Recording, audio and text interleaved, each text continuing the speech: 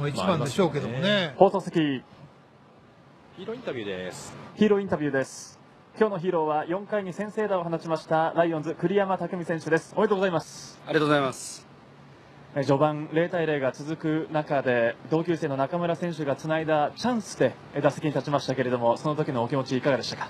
まああのなかなかこううちのチームもヒットが出ない中で、まあ殿が打って、おかりがつないでっていう形で回ってきたんで、なんとか、えーいい形で僕も後ろに回したいなと思って、まああの結果的にいいヒットになってくれてよかったです。センターの前に何か執念で運んだそんな印象を受けたんですけれども手応えいかがだったんでしょうか？いやあの手応えはまあ詰まってましたし、まあでもあの詰まったおかげで、まあなんとか落ちてくれへんかなと思いながら、まあ早く落ちろと思いながら走走ってました。はい。落ちた瞬間の、まあ、ご自身の頭の中っていうのはどんな感じだったんでしょう？まあ、あのチャンスでランナーを返せたっていうことでまずあの、まあ、よっしゃっていう思いと、えーほっとしたっていう思いとありました。はい。さあ試合はリードを守ってライオンズ勝ちました。これでチーム4連勝です。栗山選手から見てこのチームの今の雰囲気っていうのはどのように感じられてますでしょうか？まあ、あの非常にみんな集中してやれてますし、まあ、なかなかこう打線があの今日みたいな日はねもっと追加点があればピッチャー楽に投げれるんですけど、まあ、それでもあの投手と野手としっかり力を合わせていい展開いいゲーム運びができてるんじゃないかなと思ってます。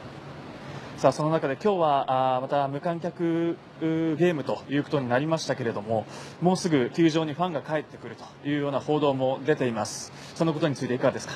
まあ、あの一日でも早く僕たちはあのファンの皆さんの前でプレーしたいと思ってますし、まあ、あの今は無観客っていうことでやってますけど、まあ、僕たちのこのプレーする熱さっていうものが、まあ、画面越しに伝わるように、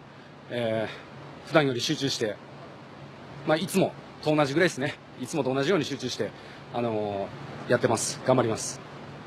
さあその中で今日もですね、えーコメントファンの方から届いています。ベテランの一振り大好きだぜ栗山匠ということですけれども、えー最後お画面の前で、えー喜んでいるであろうファンの皆さんにですね最後メッセージお願いしますはい、あの